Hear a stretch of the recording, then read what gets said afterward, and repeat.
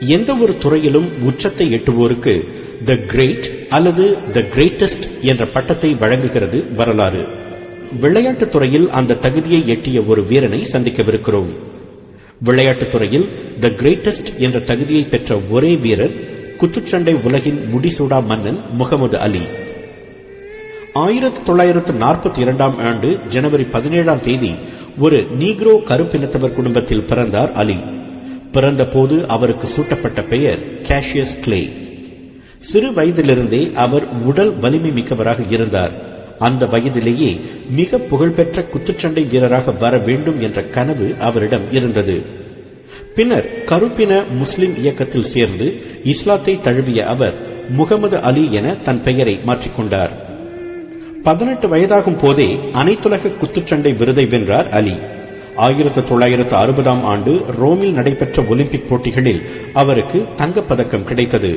அப்போது கூட விளையாட்டு உலகம் அவரை சரியாக அடையாளம் கண்டு கொள்ளவில்லை சரியாக நாற்பது ஆண்டுகளுக்கு முன் இன்றைய தினம்தான் அதாவது ஆயிரத்து தொள்ளாயிரத்து அறுபத்தி ஐந்தாம் ஆண்டு பிப்ரவரி இருபத்தி ஐந்தாம் தேதிதான் முகமது அலி என்ற புலி வீறு கொண்டெழுந்து குத்துச்சண்டை உலகில் ஒரு புதிய சகாப்தத்தை தொடங்கியது.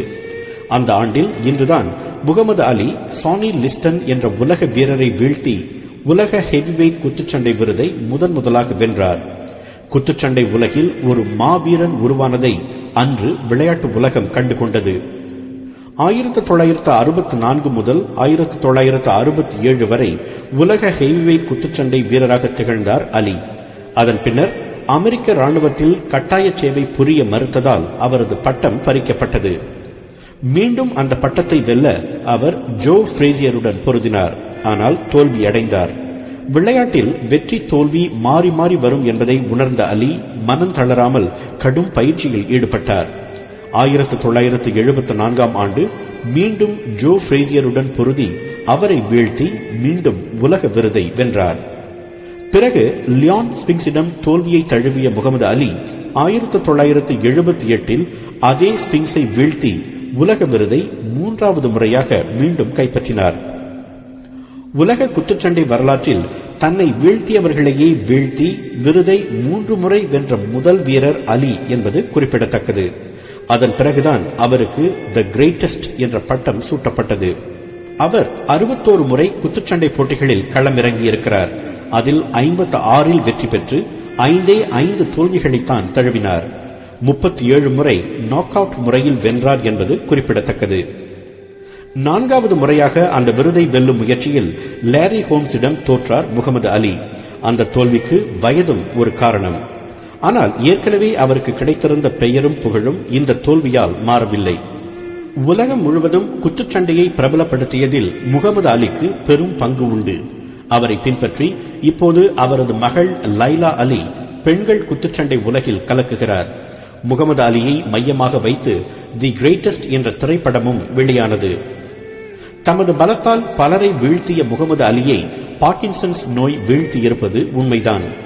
குத்துச்சண்டைகளின் போது அவருக்கு தலையில் விழுந்த குத்துக்களால் தான் அவருக்கு அந்த நோய் ஏற்பட்டது என்று மருத்துவர்கள் கூறுகின்றனர். இருந்தாலும் குத்துச்சண்டை உலகிற்கு அவர் கொண்டு வந்த புகழையும் வசீகரத்தையும் இன்னொருவர் எட்டிப்பிடிக்க காலம் பல ஆகலாம் என்பதே விளையாட்டு உலகின் கணிப்பு. கருப்பினத்தவர்கள் தோல் உயர்த்தி நடக்க காரணமான பலரில் முகமது அலிக்கு நிச்சயம் முக்கிய பங்கு உண்டு. அவர் தனது வெற்றியை பற்றி குறிப்பிடும் போது இப்படி சொல்கிறார். வீரர்கள் வெறும் உடற்பயிற்சி கூடங்களில் உருவாவதில்லை. அவர்களுக்கு ஆழ்மனதில் ஒரு கனவு ஒரு தொலைநோக்கு ஒரு விருப்பம் இருக்க வேண்டும். அவர்களுக்கு திறமையும் முக்கியம் மனுதிடமும் முக்கியம். ஆனால் திறமையை விட மனுதிடம்தான் அதிமுக்கியம். எவ்வளவு உண்மை? உங்கள் மனத்திலும் ஒரு கனவு ஒரு தொலைநோக்கு ஒரு விருப்பம் உண்டா?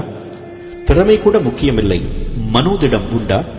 அப்படி என்றால் சிறிது காலம் எடுத்துக்கொண்டாலும் முகமது அலியைப் போல் உங்களுக்கும் அந்த வானம் வசப்படும். வானம் வசப்படுமே. the.